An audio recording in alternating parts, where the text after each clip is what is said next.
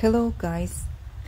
Before we open champagne and start to celebrate the new year, I call on you to stop for a few minutes and remember the year that has gone, 2021, the year full of fear and contradictions and stress, the year that divides us even inside some families for people who live with fear and follow over orders, and some people who is growing spiritually with open mind. I have feeling that world today live in visible spiritual battle between freedom and depends, between light and dark. And it depends from us, the future of this beautiful world, the future our children. And it's a time when we must think about our future and future of our world.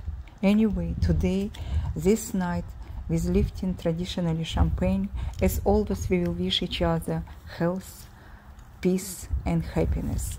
And New Year is also getting another chance, chance to do something to do something more, to start over, to do more, to give more, to love more, a chance to have right choice. Let's remember to be kind and supportive each other, and not just tonight, but all year long.